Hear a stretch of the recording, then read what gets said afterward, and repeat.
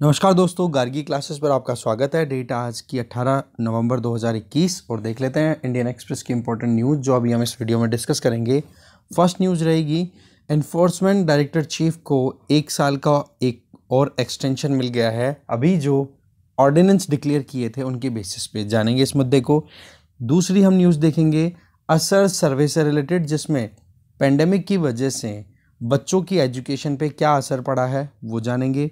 इसके आगे हम देखेंगे कि पाकिस्तान में एक लॉ पारित हुआ है, जिसमें कुलभूषण जाधव को रिव्यू ओपिनियन ऑप्शन देने का एक पॉइंट है।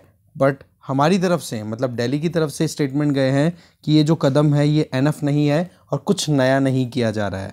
इसके अलावा हम आगे जो न्यूज़ देखेंगे, वो रहेगी। एक ये छोटी न्यूज़ है यहाँ पर, इसको हम यहीं पे देख लेते हैं कि अभी पार्लियामेंट का सेशन शुरू होगा उससे पहले ही अभी हम जो अभी आप देख सकते सेवेंटी फाइव सेवेंटी फिफ्थ हम ईयर सेलिब्रेट कर रहे हैं हमारे इंडिपेंडेंस का राइट तो उसमें जो आज़ादी का अमृत महोत्सव चल रहा है, उसी लाइन को कंटिन्यू करते हुए प्राइम मिनिस्टर नरेंद्र मोदी जब अभी जो all India presiding officer conference हो रही थी तो उसमें उन्होंने, जो कि शिमला में हो रही थी राइट तो उसमें उन्होंने एड्रेस करते हुए जो भी प्रिजाइडिंग ऑफिसर जैसे अलग अलग स्पीकर्स हो गए लेजिस्लेटिव असेंबली के या फिर चेयरमैन हो गए लेजिस्लेटिव काउंसिल्स के अलग अलग स्टेट्स के राइट और उसके अलावा जो स्पीकर ऑफ़ लोकसभा और जो vice speak vice vice chairman या फिर जो डेप्यूटी स्पीकर होते हैं लोकसभा के और साथ में लेजिस्लेटिव असेंबलीज़ के तो उनको एड्रेस करते हुए कहा कि और हमें कैसे भी करके one nation one legislative platform पे काम करने की ज़रूरत है। जिससे कि इंटीग्रेटेड मैनर में हर एक असेंबली हर एक लेजिस्लेटिव हाउस अपने खुद के एक्सपीरियंसेस उस पर शेयर करेगी तो उसका फ़ायदा ये होगा कि वहाँ से दूसरे लेजिस्लेटिव हाउसेस उन लर्निंग्स के बेसिस पे कुछ अच्छा और प्रोडक्टिव काम कर पाएँगे। तो उस पॉइंट ऑफ़ व्यू से ये बात बताई जा रही है। इसके आगे इसके आगे एक न्यूज़ ये है कि यूएस एम्बेसी ने अपनी जो भी यूएसए की जो वमेन इंडिया के ट्रैवल पे आई हुई हैं तो उनको ये कहा है कि आप इंडिया में ट्रैवल अकेले मत करो। क्योंकि यहाँ पर सेक्सुअल अब्यूज़ सेक्सुअल असोल्ट बहुत ज़्यादा हो रहे हैं और इसी चीज़ को हाईलाइट करते हुए उन्होंने अपनी तरफ़ से ये गाइडलाइन दी है, जो कि हमारे लिए वाकई में चिंता की बात है। ठीक है? इसके पहले भी यूएस की एम्बेसी ने इस तरीके के गाइडलाइंस पहले दिए हुए हैं यूएस ट्रैवलर्स को जब आर्टिकल 370 एब्रोगेट कर दिया गया था या आप कह सकते हो इनफेक्टिव बना दिया गया था जम्मू कश्मीर की स्पेशल स्टेटस को रिवॉक कर लिया डिवाइड कर दिया दो यूटीज़ में तो उसके बाद में ये इस तरीके के स्टेटमेंट दिए गए थे सिक्योरिटी पॉइंट ऑफ़ व्यू तो ये अपने आप में कोई पहली बार नहीं है यूएस एम्बेसी के द्वारा ये पहले भी किया जा चुका है। ठीक है इसके आगे हम देखेंगे यहाँ पर आ, आगे चलेंगे। पेज नंबर ट्वेल्व पे एक छोटी सी न्यूज़ है कि महाराष्ट्र गवर्नमेंट ने social media platform Twitter, Facebook, इनको लगभग 36 पोस्ट को रिमूव करने के लिए बोला है। कुछ लोगों ने पोस्ट डाल दी जिसकी वजह से वायलेंस हो सकता था तो उस डर के चलते हटा दिया। आपको पता है, त्रिपुरा में भी एक वायलेंट आउटब्रेक देखने को मिला था अभी रिसेंटली जिसकी वजह से कितने अरेस्ट हुए थे। जो यू एक्ट है अनलॉफुल एक्टिविटीज़ प्रिवेंशन एक्ट के तहत अरेस्ट भी किए गए थे। और दूसरा जो आंध्र प्रदेश कि जो प्रोविजनल कैपिटल है, अभी तक तो कंफर्म नहीं कह सकते, बातचीत हो रही है। जहाँ तक है, अमरावती ही कैपिटल बनेगी आंध्र प्रदेश की। तो अमरावती में भी वायलेंट आउटब्रेक हो गया सोशल मीडिया पोस्ट की वजह से। तो महाराष्ट्र गवर्नमेंट ने ये बात कह दी। तो ये आप ऐड कर सकते हो सोशल मीडिया प्लेटफॉर्म्स का रोल इंटरनल सिक्योरिटी के लिए कैसे चैलेंजिंग होता चला जा रहा है। इसके आगे art and culture point of view से दो इंपॉर्टेंट पॉइंट्स हैं, वो आपको ज़रूर पढ़ने हैं। एक तो है, केरला में जो सबरीमाला टेंपल है ठीक है, उसके बारे में आप एक बार डिटेल पढ़ोगे, ज़रूर यूपीएससी पॉइंट ऑफ़ व्यू से। और दूसरा आपको देखना है जगन्नाथपुरी टेंपल के बारे में। ठीक है तो ये दो तो आपके सामने हो गए टेम्पल्स के बारे में स्टडी करना, कौन से स्टेट में है, क्या इनकी हिस्ट्री है। और साथ में आप इंडिया की जो टेंपल आर्किटेक्चर है, उसको एक बार रिवाइज करोगे। अगर आपके पास में नितिन सिंघानिया बुक है तो उससे रिवाइज कर लो। और अगर नहीं है तो आप temple architecture in India for UPSC ऐसे करके आप सर्च कर लो गूगल पे कंटेंट मिल जाएगा आपको तो ज़रूर पढ़ोगे आप, ठीक है? इसके अलावा हम देखेंगे इलेक्शन कमीशन ऑफ़ इंडिया ने अपनी तरफ़ से इंटरनेशनल ट्रेनिंग मॉड्यूल्स लॉन्च किए हैं पाँच, ठीक है? जिससे, जिसमें कि पोल की प्लानिंग कैसे होगी इलेक्शंस की प्लानिंग इलेक्शंस में पॉलिटिकल पार्टीज़ को फाइनेंसिंग आती है, वो उनसे रिलेटेड एक ट्रेनिंग दी जाएगी इंडिविजुअल्स को। इसके आगे एक्सप्लेन्ड पेज पे ये असर रिपोर्ट को हम फ्रंट पेज पे कवर कर लेंगे तो यहाँ ज़रूरत नहीं होगी। मेन चीज़ फ्रंट पेज पे मिल जाएगी हमें। इसके अलावा अमेरिकन के लिए स्टडी ये आई है कि अगर वो 45 मिनट की डेली वॉक कर लेते हैं तो चांसेस ये हो जाएँगे कि लगभग बहुत से लोग जो हैं वो बच सकते हैं कैंसर डिज़ीज़ से। ये बताया जा रहा है। इसके अलावा एक ये एक वा, ये वाला पोर्शन हम ज़रूर देखेंगे जिसमें फ्रीडा कैलो ठीक है ये मैक्सिकन पेंटर रही इनकी जो पेंटिंग है सेल्फ पोर्ट्रेट मतलब खुद ही खुद की पेंटिंग बनवाई थी उसको अभी ऑक्शन हुई है। तो आप, ये देखोगे लैटिन अमेरिका की जो पेंटिंग्स हैं, उनमें सबसे ज़्यादा महँगी ये बिकी है। इसके अलावा दस ट्राइबल म्यूज़ियम लॉन्च किए जा रहे हैं, जिनमें एक तो हो चुका है बिरसा मुंडा के नाम से, वो हम जानेंगे। इसके आगे, यहाँ पर राजस्थान में जो पुष्कर मेला होता है, उसमें केमल लॉ का क्या असर रहेगा 2015 का, ये हम सबसे लास्ट में डिस्कस करेंगे। इसके आगे economy page world page sports page पे एक बार नज़र डालेंगे। तो चलिए स्टार्ट करते हैं डिटेल में डिस्कशन को। सबसे पहली न्यूज़ है ही कि अभी जो रीसेंट ऑर्डिनेंस डिक्लेयर किए गए थे, एक तो central vigilance commission CVC act में, और एक आपको बताया Delhi special police establishment act 1946 उसमें अमेंडमेंट किए गए थे ऑर्डिनेंस के बेसिस पे, जिसमें कि दोनों के डायरेक्टर्स एक तो एनफोर्समेंट डायरेक्टरेट और एक सीबीआई के डायरेक्टर्स को, उनके टेन्योर को एक्सटेंड करते हुए टोटल फाइव ईयर्स तक ले जाने की बात की गई थी। और इसका अब एक आउटकम भी मिल गया है, वो है कि एनफोर्समेंट डायरेक्टरेट जो अभी करंटली ईडी के डायरेक्टर हैं संजीव कुमार मिश्रा, उनके टेन्योर को एक और साल का एक्सटेंशन मिल गया है। बेसिकली ये ऑर्डिनेंस इन्हीं के लिए ये लाया गया था। ठीक है? तो ये जो चेंजेस लाए गए हैं, ये हमने ऑलरेडी देख ही लिए कि सेंट्रल विजिलेंस कमीशन इसके अंडर में तो ईडी को एक्सटेंशन मिला है और Delhi special police establishment act इसके लिए ऑर्डिनेंस जो लाया गया था, इसमें सीबीआई के डायरेक्टर को एक्सटेंशन की बात की गई थी। टोटल मैक्सिमम जो टेन्योर था वो फाइव ईयर तक कर दिया गया था। और नॉर्मल सरकमस्टांसिस में देखें बिना कोई एक्सटेंशन के तो इसमें लिखा हुआ है कि दो साल से कम का टेन्योर नहीं होगा। ठीक है? जो डायरेक्टर्स हैं सीबीआई के या फिर ईडी के, उनका टेन्योर दो साल से कम का नहीं होगा। बाकी एक्सटेंशन जो है, वो मैक्सिमम तीन साल का और मिल जाएगा तो टोटल हो जाएगा कितना? पाँच साल का टेन्योर मैक्सिमम ठीक है? ये हो गया। इसके आगे। नेक्स्ट न्यूज़ है जो असर रिपोर्ट से रिलेटेड है। देखो पेंडेमिक की वजह से गवर्नमेंट स्कूल्स की तरफ़ बच्चे ज़्यादा शिफ्ट हो गए हैं और ज़्यादा से ज़्यादा बच्चे जो हैं वो अब ट्यूशन लेना शुरू कर चुके हैं। तो इस रिपोर्ट पे एक बार अगर नज़र डालें तो हमें ज़्यादा क्लियरेंस आ जाएगी, ठीक है? बेसिकली ये जो असर रिपोर्ट है, इसकी फुल फॉर्म होगी annual status of education report ठीक है? और ये रिपोर्ट जो है रिलीज़ की जाती है एनजीओ है प्रथम नाम से, ठीक है? ठीक है नॉन गवर्नमेंटल ऑर्गेनाइजेशन प्रथम, उसके द्वारा ये स्टडी की जाती है एनुअल बेसिस पे। अब आउटकम क्या है इस स्टडी का वो जानते हैं।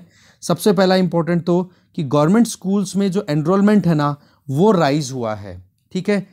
65.8 परसेंट से बढ़कर के 70.3 परसेंट पैंडेमिक के एक साल के अंदर अंदर, ठीक है? तो पहला तो आउटकम ये कि गवर्नमेंट स्कूल्स में एडमिशन ज़्यादा होने लग गए हैं प्राइवेट स्कूल्स में एडमिशन डिक्लाइन होने को देखने को मिल रहे हैं। इसके आगे प्राइवेट स्कूल्स में एडमिशन की बात करें तो 2020 में 28.8 परसेंट स्टूडेंट्स जो थे, वो प्राइवेट स्कूल्स में एनरोल्ड थे, जो कि अभी घटकर 24.4 परसेंट तक आ चुके हैं। दूसरा आउटकम ये क्लियर हो गया हमारा।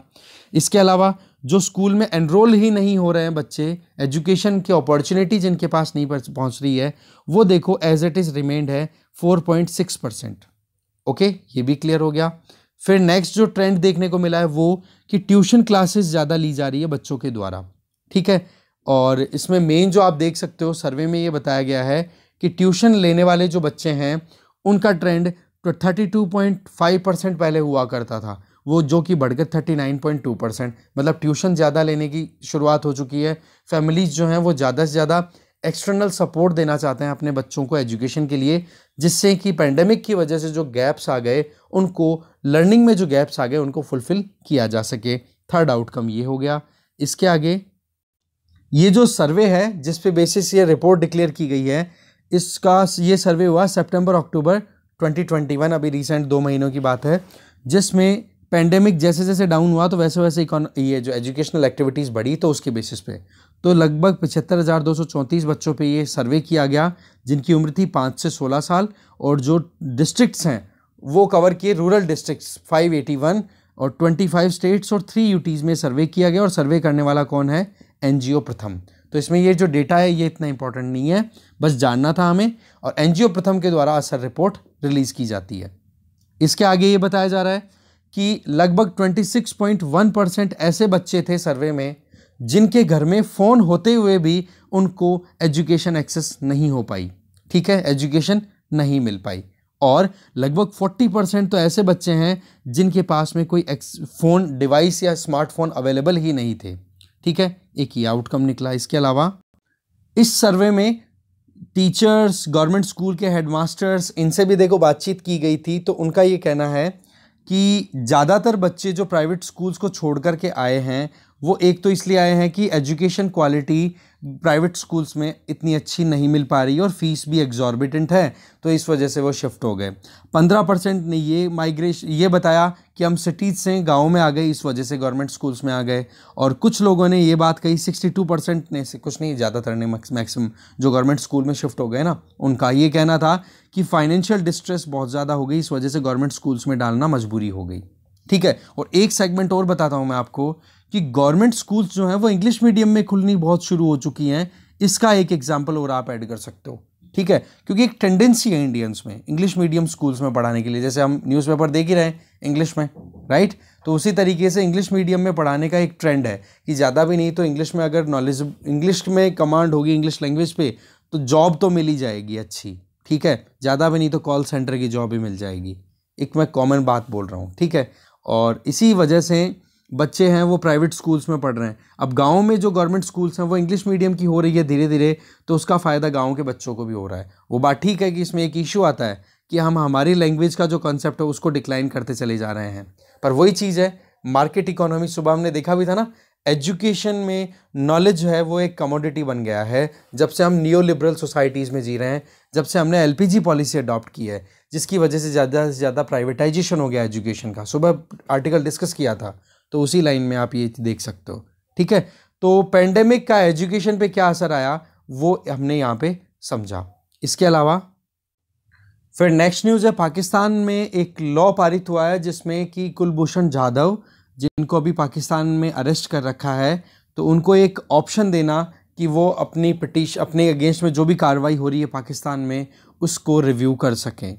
Basically international court of justice ने अपनी तरफ़ से एक गाइडलाइन दे रखी है पाकिस्तान को कि कुलभूषण जाधव को पूरा एक स्कोप मिले कि वो अपने आप को एक तरीके से कहते हैं ना कि आपने आपको निर्दोष इनोसेंट साबित कर पाए। ठीक है? तो बेसिकली कुलभूषण जाधव ये फॉर्मर नेवी ऑफिसर रह ऑफिसर हैं, जिनको अभी पाकिस्तान में अरेस्ट कर रखा है कि वो कोई जासूसी करने के लिए आए थे और कुछ टेरर चार्जेस भी इनके अगेंस्ट में लगा रखे हैं पाकिस्तान में और उसके बेसिस पे इनको जेल में रखा हुआ है।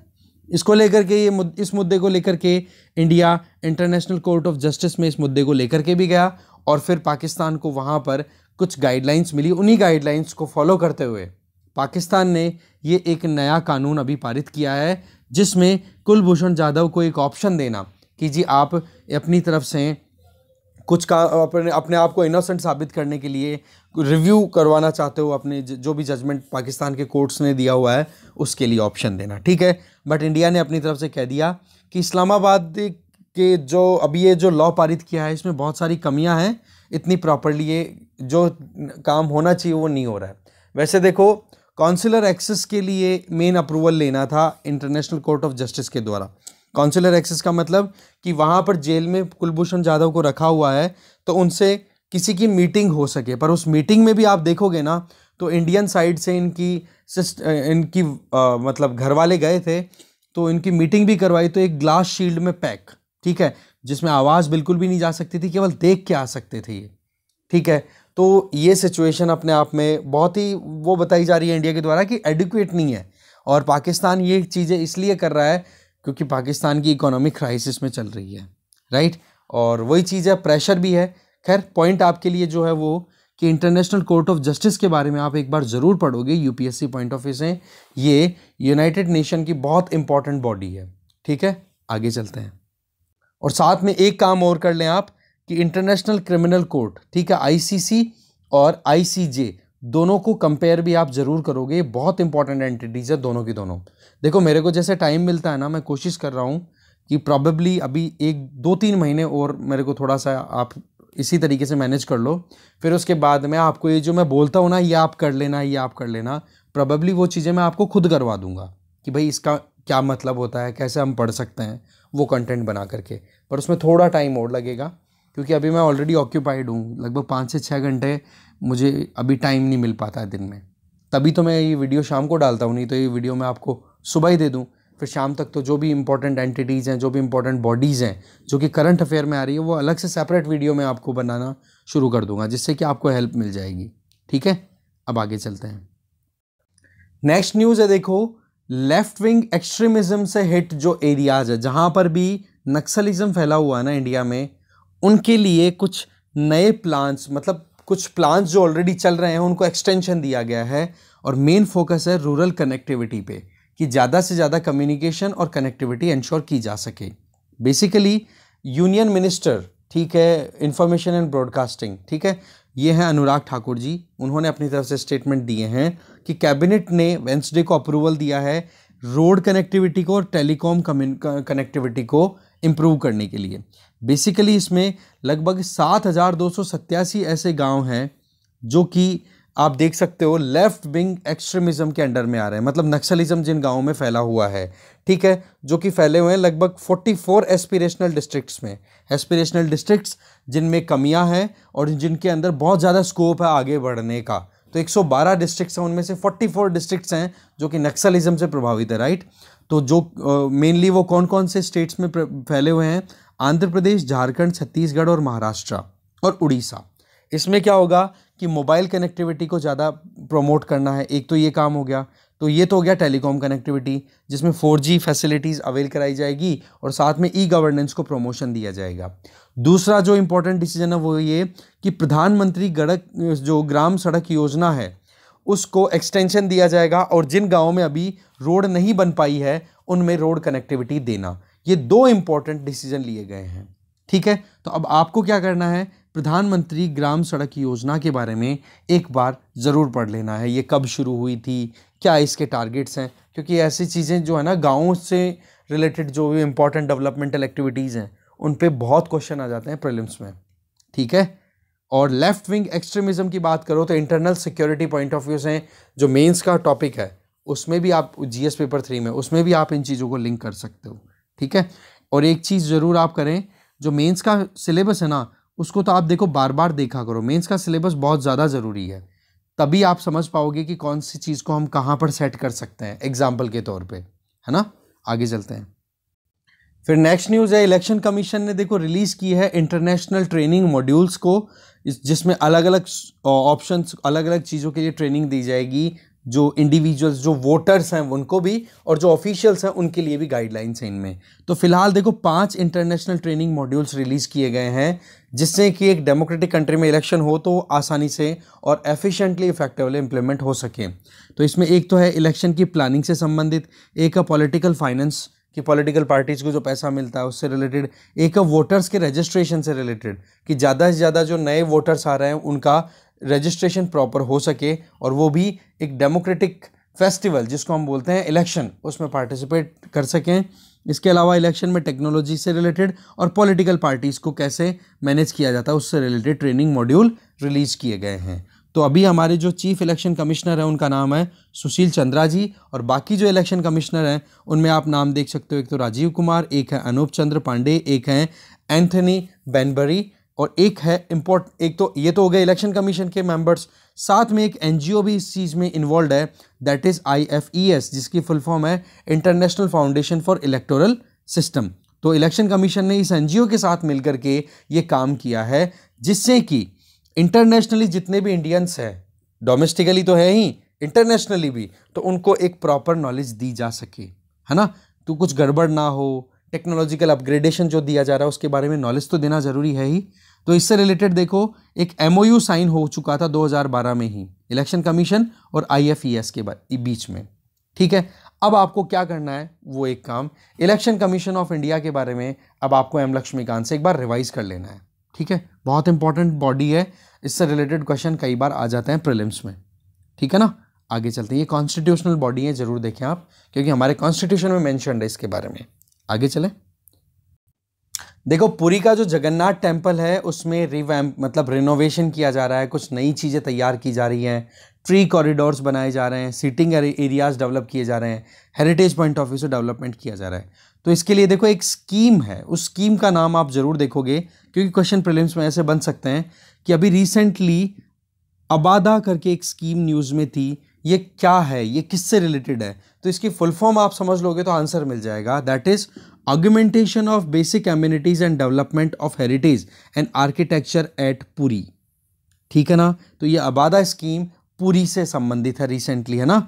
जिसमें आप देखोगे बत्तीस सौ करोड़ रुपए जो हैं, वो इस रिवैम प्रोजेक्ट के लिए अलोकेट किए गए हैं। ठीक है? जिससे कि वर्ल्ड क्लास टूरिस्ट फैसिलिटी और रिलीजियस सेंटर के तौर पे पूरी जगन्नाथ टेंपल को डेवलप किया जा सके। इसके लिए आप देख सकते हो, श्री जगन्नाथ टेंपल एडमिनिस्ट्रेशन वो काम कर रहा है। इसके अलावा आप देखोगे तो अभी रिसेंटली जो नेशनल मॉन्यूमेंट अथॉरिटी है, उसके द्वारा एक नोटिफिकेशन रिलीज़ किया गया था राइट जिसमें ये था कि जो भी ये मॉन्यूमेंट्स हैं हेरिटेज वाले एरियाज़ हैं, इनके आसपास में इनकी इमीडिएट विसिनिटी में डेवलपमेंटल प्रोजेक्ट्स को कंटिन्यू किया जा सकता है। उसको क्या है विड्रॉ कर लिया था जो भी डेवलपमेंटल रेस्ट्रिक्शंस थी उनको।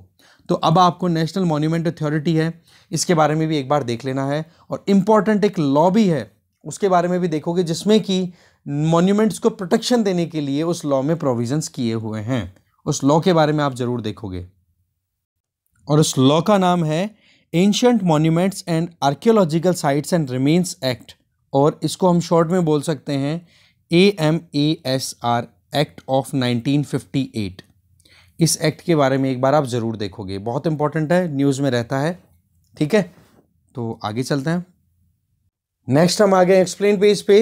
देखो, एक इंपॉर्टेंट न्यूज़ है लैटिन अमेरिका से रिलेटेड कि वहाँ पर सबसे महँगी एक पेंटिंग अभी ऑक्शन हुई है, उससे रिलेटेड तो जो पेंटर थी, उनका नाम है फ्रीडा कालो ठीक है? ये मैक्सिकन पेंटर रही हुई हैं, और इसमें जो पेंटिंग आपके सामने है, ये उनकी खुद की इमेज है। ठीक है?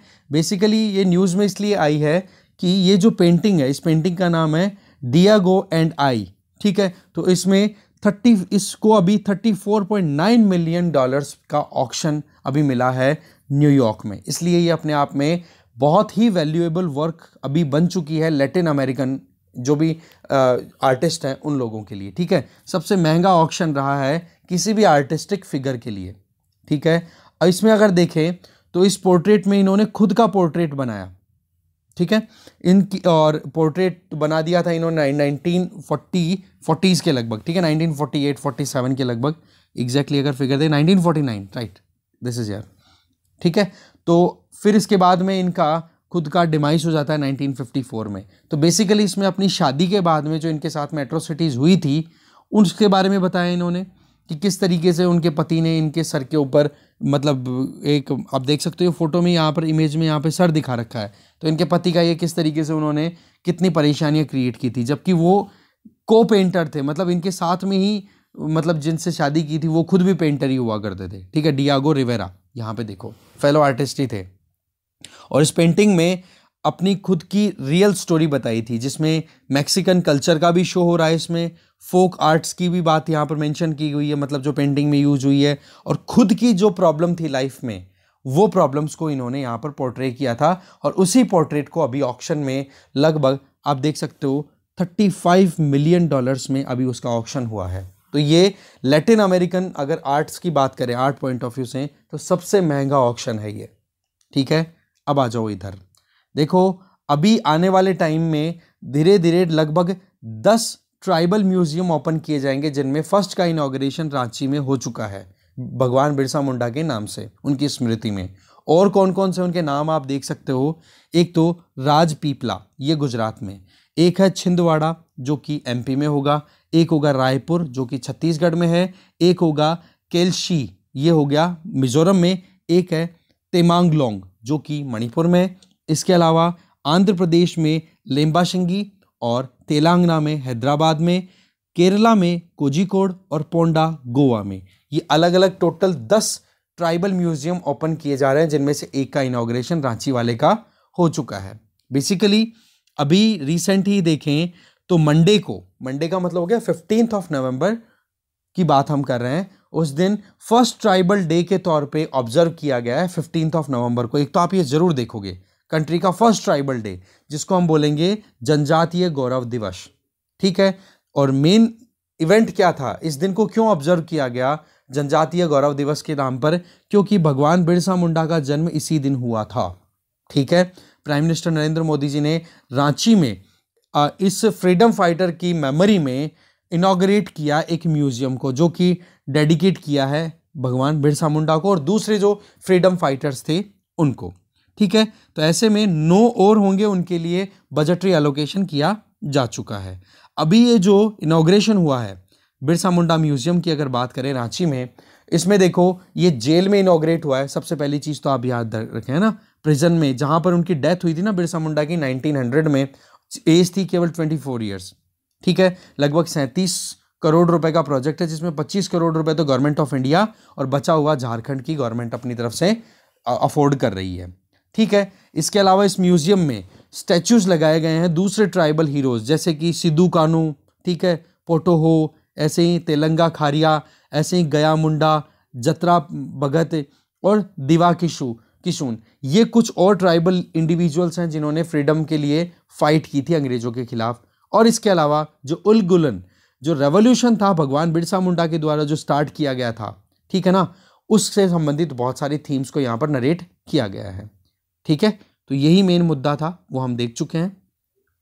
और ये आज़ादी के अमृत महोत्सव के टाइम पे ये सेलिब्रेशन या ऑब्जर्वेशन अपनी तरफ़ से किया जा रहा है, जिससे कि जो ट्राइबल इंडिविजुअल जिन्होंने अपने सेक्रीफाइसेस दिए थे, उन पर फोकस्ड है ये ठीक है? अब मेन चीज़ आ जाती है कि और अलग अलग एरियाज़ में किन पर फोकस किया जाएगा?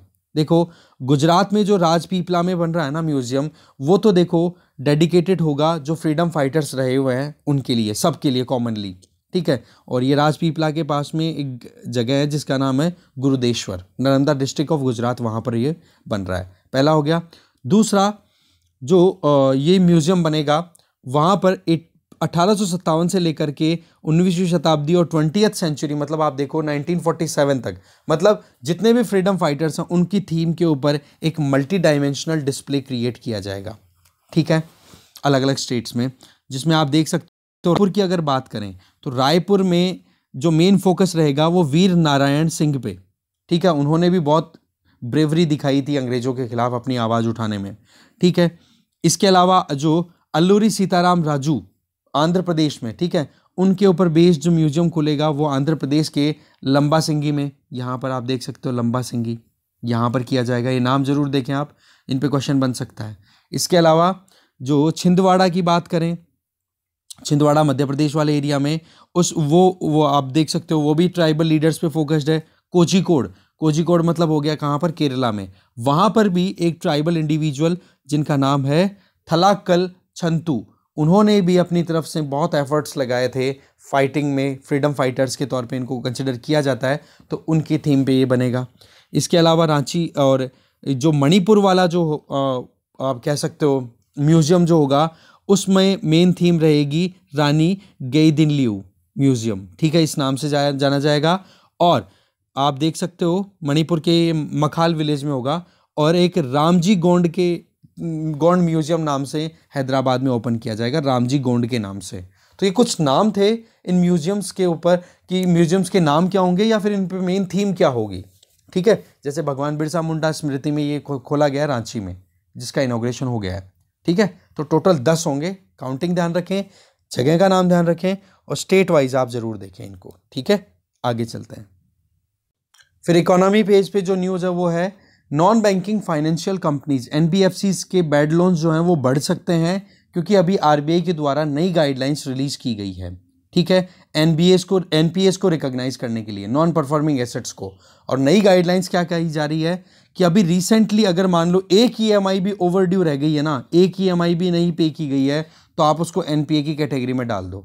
तो करंट जो स्टेटस देखी जाए ना तो NBFC non banking finance companies हैं, उनमें जितना भी उन्होंने लोन दे रखा है, उसका लगभग 6.4 परसेंट जो लोन है, वो नॉन परफॉर्मिंग एसेट में ऑलरेडी कन्वर्ट हो चुका है। अब अगर इसी तरीके से आरबीआई की इस गाइडलाइन को इम्प्लीमेंट किया जाता है कि कोई भी एसेट से अगर एक भी ई टाइम पे नहीं आ रही है, अभी रिसेंट इवेंट्स की बात करें तो भी उसको एनपीए कंसिडर किया जाएगा तो उस केस में 300 बेसिस पॉइंट मतलब तीन परसेंट और ज़्यादा इंक्रीमेंट मतलब लगभग साढ़े नौ परसेंट तक एनपीएस हो जाएँगे एन की। एक तो ये न्यूज़ है।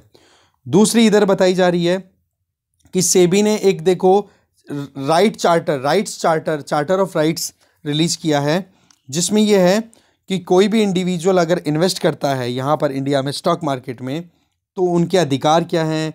उनके रिस्पॉन्सिबिलिटीज़ क्या होंगी? उनको अगर कोई प्रॉब्लम हो तो वो किसको कांटेक्ट करें? कैसे प्रॉब्लम का सोल्यूशन निकल सकता है? इन सारी चीज़ों के बारे में उसमें मेंशन किया हुआ है। इसके आगे सेबी के बारे में आप एक बार ज़रूर पढ़ोगे और एन के ऊपर एक बार नज़र ज़रूर मारोगे आप यूपीएससी पॉइंट ऑफ़ व्यू से। ठीक है? आगे चलते हैं। नेक्स्ट हम आ गए वर्ल्ड पेज पे। वर्ल्ड पेज पे देखो, एक तो न्यूज़ है यहाँ पे कि तालिबान को अब चाइना में इनवाइट किया गया है। थर्ड मिनिस्ट्रियल मीटिंग होगी अफ़गानिस्तान के मुद्दे को लेकर के। ये पाकिस्तान के फॉरेन मिनिस्टर ने ये बात कही है। इधर दूसरी तरफ़ तालिबान यूएस कांग्रेस से ये रिक्वेस्ट कर रहा है कि आप हमारे ऊपर से सैंक्शंस हटाओ, नहीं तो हमारी इकोनॉमी पहले ही बहुत ज़्यादा परेशानियों में है और ज़्यादा हम बर्बाद हो जाएँगे। एक इधर आप देख सकते हो कि पाकिस्तान बिल्कुल भी जल्दबाजी नहीं कर रहा अब की बार तालिबान को रिकॉग्नाइज करने में। 1996 में जो तालिबान का रूल आया था ना, उसको सबसे पहले रिकग्निशन ही पाकिस्तान ने दिया था। पर अभी इकोनॉमी का हाल इतना बुरा है कि 100 बिलियन डॉलर तक का कर्जा चढ़ चुका है पाकिस्तान के ऊपर तो इस केस में पाकिस्तान जल्दबाजी नहीं कर रहा। क्यों? तालिबान को अगर रिकग्निशन दे तो इस केस में वेस्टर्न कंट्रीज़ हैं, वो नाराज़ हो सकते हैं। और उस नाराज़गी को पाकिस्तान बिल्कुल झेल नहीं सकेगा, क्योंकि फिर तो इकोनॉमिक सपोर्ट बिल्कुल भी नहीं होगा। ठीक है? तो ये एक छोटी सी बात थी, वो हमने देखी। इसके अलावा डब्ल्यूएचओ ने ये कहा है कि यूरोप में अभी करंटली कोविड की वजह से सबसे ज़्यादा डेथ्स हो रही हैं, बाकी और रीजन्स के कंपैरिजन में। इधर आप देख सकते हो कि माइग्रेंट क्राइसिस कितना ज़्यादा है लीबिया से, ये बताया जा रहा है यहाँ पर, ठीक है? तो एक डॉक्टर्स विदाउट बॉर्डर्स ठीक है? उसको अप्रोच कर रहे हैं हंड्रेड माइग्रेंट्स इस बोट में बैठ करके, और कईयों की तो डेथ हो जाती है, इस तरीके से आप देख सकते हो, छोटी सी बोट है ये वुडन बोट अब इसमें ये जाएँगे ओशन है इतने बड़े बड़े थोड़ा बहुत भी अगर ढंग से पानी ने उथल मार दी ढंग से, है ना? तो सब डूब जाएँगे, ये रिस्क रहता है। इसके अलावा चाइना ने पाकिस्तान को कहा है कि भाई आप कंड्यूसिव एनवायरनमेंट क्रिएट करो जिससे कि चाइना पाकिस्तान इकोनॉमिक कॉरिडोर, जो कि मल्टी बिलियन प्रोजेक्ट है, साठ बिलियन डॉलर का, जिसमें कि, जो कि पाकिस्तान से तो पास हो ही रहा है। इसके अलावा पाकिस्तान ऑक्यूपाइड कश्मीर से भी, जो कि हमारा इंडिया का, आप कह सकते हो टेरिटोरियल हिस्सा है। उसके बावजूद इंडिया को बिना कॉन्फिडेंस में लिए उससे पास किया जा रहा है। तो वैसे तो पाकिस्तान को ये रिक्वेस्ट की है कि वहाँ पर भाई इन्वेस्टर्स को अट्रैक्ट करने के लिए आप ऐसा इन्वायरमेंट बनाओ, जिससे कि ज़्यादा से ज़्यादा पैसा पाकिस्तान में इन्वेस्ट किया जा सके। पर वही चीज़ है, Pakistan is a rogue state मुश्किल है। मालदीव अ ट्रस्टेड फ्रेंड कैसे?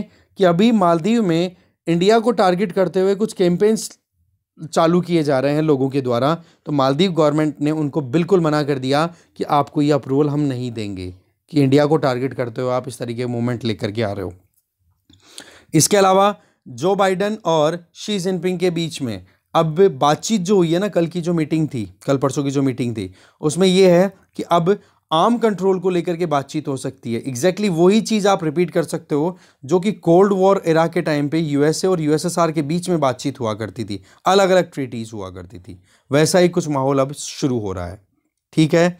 इसके आगे आप देख सकते हो यूएसए ने पाकिस्तान और चाइना को कंट्रीज़ ऑफ़ पर्टिकुलर कंसर्न की लिस्ट में एनरोल कर दिया है। वजह, रिलीजियस फ्रीडम कि। पाकिस्तान में भी रिलीजियस फ्रीडम नहीं है और चाइना में भी रिलीजन को लेकर के फ्रीडम नहीं दी जा रही है। तो ये देखो, यूएसए के द्वारा ये लिस्ट मेंटेन की जाती है जिसमें पाकिस्तान और चाइना को भी एंटर कर दिया है। इसके अलावा आप देख ही रहे हो बेलारूस और पोलैंड की जो बॉर्डर है, वहाँ पर जिस तरीके से माइग्रेंट क्राइसिस है, वो अभी कंटिन्यू है। तो ऐसे में ईयू ने कुछ एड प्रोवाइड किया इन माइग्रेंट्स को, क्योंकि ठंड ज़बरदस्त हो रही है नॉर्दर्न पोल है, और नॉर्दर्न हेमिसफेयर में आपको पता है, ठंड हो रही है, आज हमारे भी अच्छी खासी ठंड हो रही है तो थोड़ी हेल्प प्रोवाइड की है। बहुत ज़्यादा क्रिटिसिज्म हो रहा था यूरोपियन यूनियन का इस बात को लेकर के। ठीक है, इसके आगे हम अब वो जो राजस्थान की न्यूज़ है, केमल वाली, वो पूरी डिटेल में देखते हैं।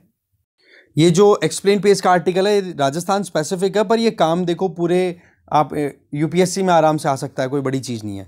तो देखो, पुष्कर मेला यहाँ पर, पुष्कर है राजस्थान में, अजमेर में। यहाँ पर ये देखो, कार्तिक मंथ, अभी कार्तिक शुरू हो रहा है, चल रहा है महीना तो इसमें कार्तिक मंथ में जो हिंदू मास है ना, कार्तिक मास, उसमें ये मेला बढ़ता है, ठीक है? तो यहाँ पर ऊँटों का मेला होता है ये। पर यहाँ पर अब की बार प्रॉब्लम क्या है कि जब से 2015 का Rajasthan camel prohibition of slaughter and regulation of temporary migration और एक्सपोर्ट एक्ट 2015 जब से आया ना, तब से ऊँटों की पॉपुलेशन लगातार डिक्लाइन कर रही है। और अगर इंडिया में देखें ना तो टोटल जितने भी केमल्स हैं, उनमें से 84 परसेंट तो राजस्थान में ही मिलते हैं। तो इस केस में ये फेयर बहुत ही इंपॉर्टेंट होता है। बट वही चीज़ है कि यहाँ पर ऊँटों की संख्या लगातार डिक्लाइन हो रही है तो इस मेले का जो चाम है, वो भी डाउन हो जाता है। तो फेयर ऑफ़ केमल इनकी अगर बात की जाए ना तो आप इसका जवाब दोगे, पुष्कर मेला, राजस्थान।